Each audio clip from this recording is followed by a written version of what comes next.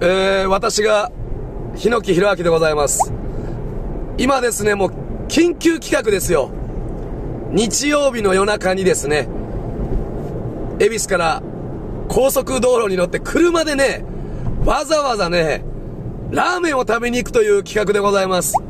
えー、足立区にあります、長浜ラーメン。もうめちゃくちゃうまいというね、もうこれでね、あのー、お詳しい方はもうどこに行くかバレたと思うんですけど、まあ一応東京ではね、この長浜ラーメン、まあ、いわゆる豚骨系というか、僕あのー、10年以上前にミュージシャンのブルースシンガーのリオくんにですね、今から行くお店連れてってもらってるんですよ。で、その時はね、ちょっとお酒も入ってたんでね、あのー、ミスター食レポとしてはね、ちょっと今回あの、シラフで、もう一滴もお酒飲んでませんので、ちょっとあの、ラーメン通のカリスマバイトリーダーのたっくんと二人で、某有名店に、超有名店ですね。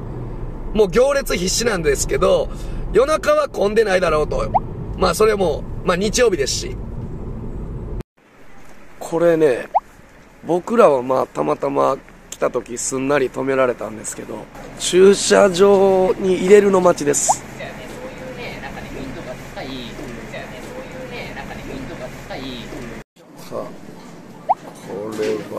まそう。食べましょう。これですよ。美味しかったです。で、お静かにって書いてるし、これ見てくださいよ、これ。普段これですよ。僕らあの夜中に来たじゃないですか。それでももう、お客さんいて、タックに申し訳ないけど俺タックン掘って一人で先に入りましたからね。並ぶの苦手な、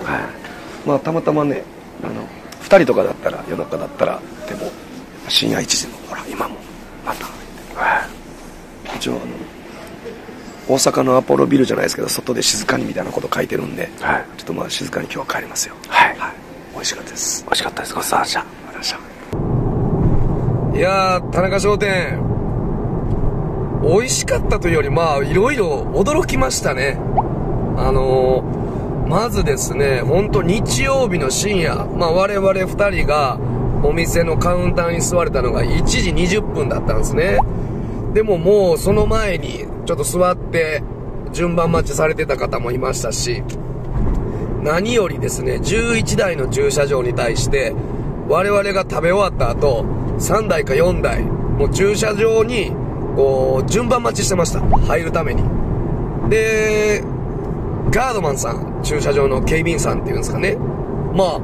二人いましたよ。店にお一人、お店にお一人。で、駐車場側にもお一人。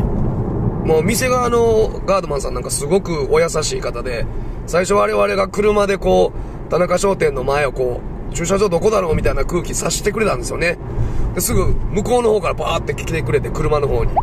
で、右曲がって左ですって言ってくれて、わあ、いい方だなと思って。で、今度駐車場の方にガードマンさんいたんですけど、その人はムスーっとして何も言ってくれなかったんですけど、ちょっとあの、愛想がちょっと 悪い感じの方でしたけども。まあ実際ね、あの、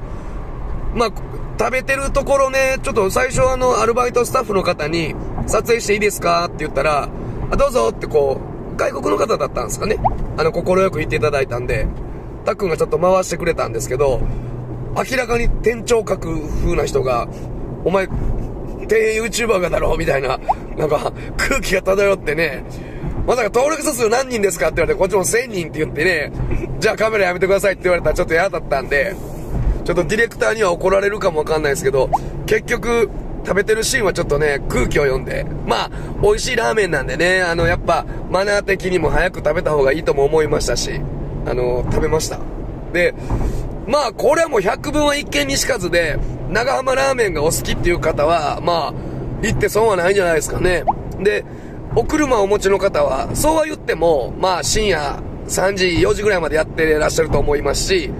駐車場がありますので、